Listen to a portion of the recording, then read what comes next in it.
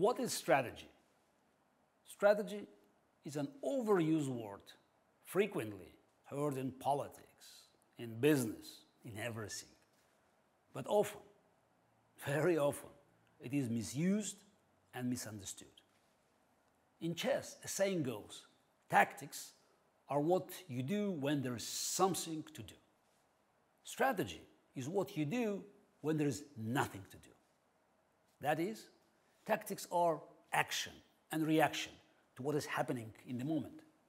Strategy is long term planning, the deeper element of setting goals. I like to say that strategy is the future of present decisions. And each move you make is a decision. But before you go dive into the deep end, a few examples of strategic planning from my own games. I picked up two games. One is about structural advantages and how you can use the weaknesses in the opponent's camp. Another one is more complex. It's about positional sacrifice and about evaluating complicated position with unbalanced material where you have to take into account the activities of your pieces, the limitation of the activities of the opponent's pieces, and control of the uh, key squares. So let's start with the first game. I played against Etienne Bacrot in 2000 in Sarajevo. Uh, my uh, former coach, Alexander Nikitin, he was there helping Bacrot, and uh, he called this game a lesson from the world champion. I opted for a Scotch opening, and uh, Etienne played fairly quickly, so we made these opening moves. I don't want to spend any uh, extra time because it's just a theory. And um, he played this modern move, which is probably not the best one, though it's not the end of the world. So there are other uh, moves for black so to, to make. So queen e4, provoking f5. It's not good to take en passant because of the king f7. White's uh, underdevelopment manifests because now it is threat rook e8 uh, uh, pinning pinning the queen. So since white is slightly behind development, so you don't want to open the position. Queen f3, queen d4, knight c3, exchange here, bishop takes, bishop b4. Oh, nice tactic. So it's the double pin. So I cannot take this bishop because my rook is hanging, and of course Queen is untouchable because my king is uh, uh, under attack. Rook c1, exchange. And uh, while the material is equal, black already you know, should worry about the endgame frameworks. So Bacrot castle long and just hoping just to open a position quickly, but I play c5, just pushing this uh, pawn and fixing this pawn structure.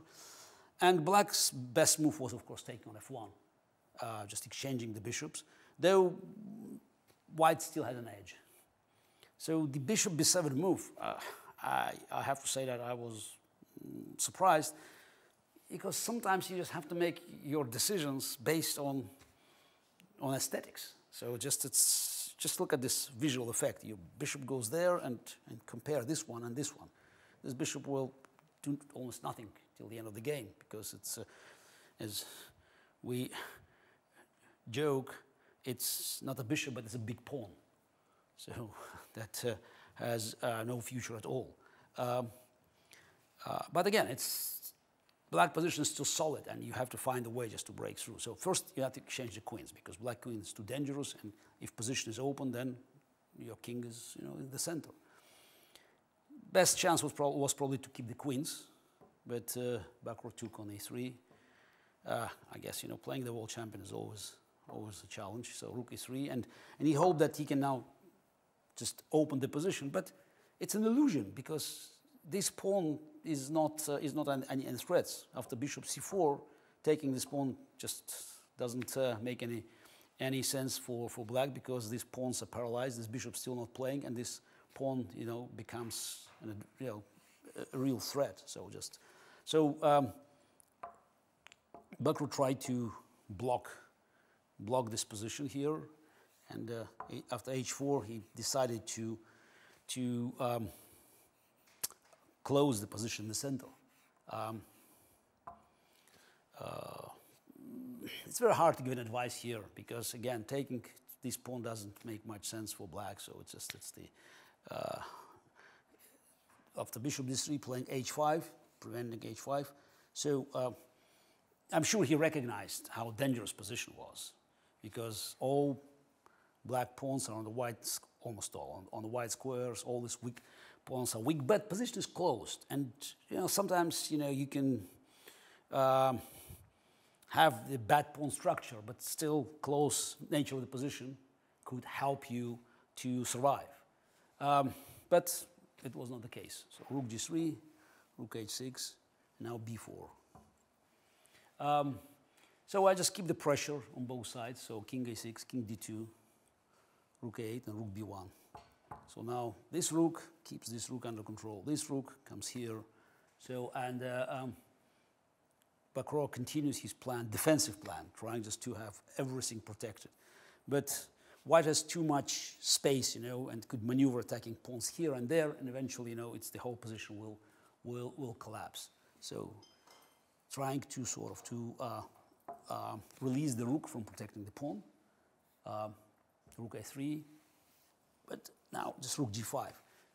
Important move because if now this move, this rook moves elsewhere, then I could, let's say, here then I can play g4, and then h5, just, you know, and black position collapses. So the rook has to be there, just, you know, waiting, waiting for, for more action. So just rook h6, king goes in the center. Rook b8, a little trick, taking here rook a8. So pin, so that's why rook a5, forcing, forcing rook to go back. Uh, as you can see, this, this is uh, black has virtually no moves, so white attacks on all sides. Rook h8. Uh, sometimes when you have a big strategic advantage, you can just you know repeat the moves and just see what the opponent does. So again, pushing back, and now key square. From here, bishop attacks in both directions, on king side, and also keeps an eye on, on, on, on the queen side.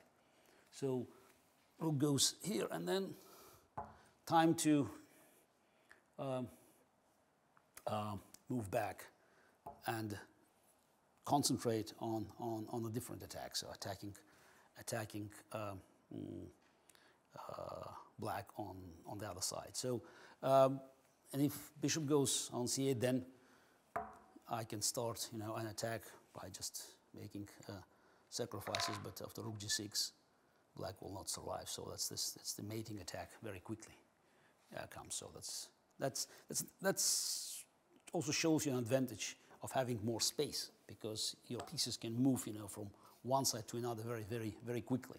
So it's, uh, it's like in, in a military uh, exercise. So you just can shift your army from one part of the board to another part of the board.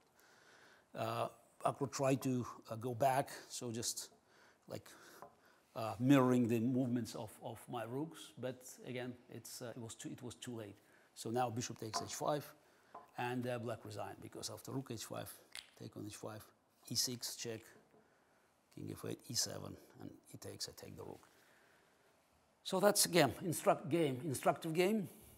Mm, not much of a defense from, from, from black, but uh, probably good illustration. So how you can uh, uh, uh, benefit from strategic advantages that um, you can allocate uh, uh, with a pawn structure and with a space.